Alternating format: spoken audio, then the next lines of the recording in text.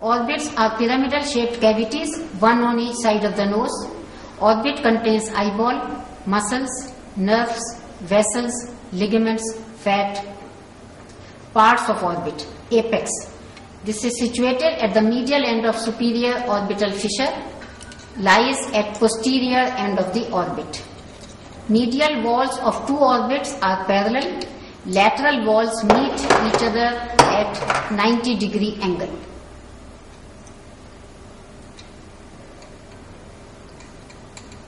Roof. Orbital plate of frontal bone forms the roof of the orbit.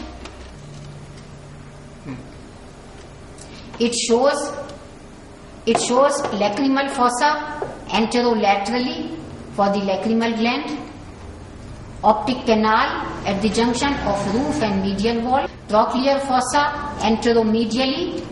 It gives attachment to trochlea for tendon of superior oblique, lateral wall.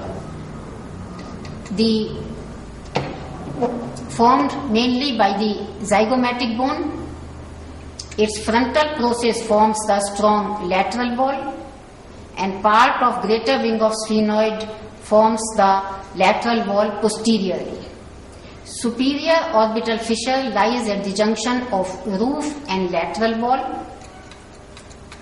Zygomatic foramen is in the zygomatic bone.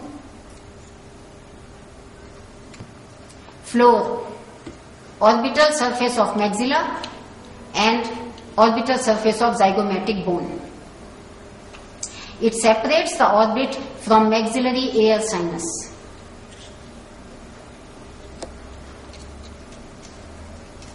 Inferior orbital fissure lies at the junction of floor and lateral wall.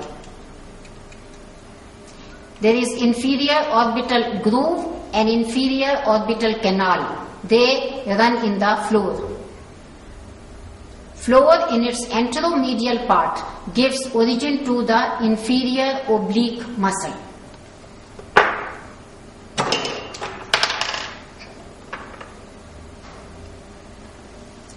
The thin medial wall is formed mainly by the frontal process of maxilla, delicate lacrimal bone, and another delicate orbital plate of ethmoid. Orbital plate of ethmoid separates the orbit from the ethmoidal air sinus. The lacrimal groove lodges lacrimal sac. The groove leads through the nasolacrimal canal into the inferior meatus of the nose. Anterior and posterior ethmoidal canal lie at junction of roof and medial wall. The inferior orbital fissure contains the zygomatic nerve, orbital branches of pterygopalatine ganglia, inferior orbital nerve, and communication between inferior ophthalmic vein and the pterygoid venous plexus. The other foramina will be done with the total number of foramina.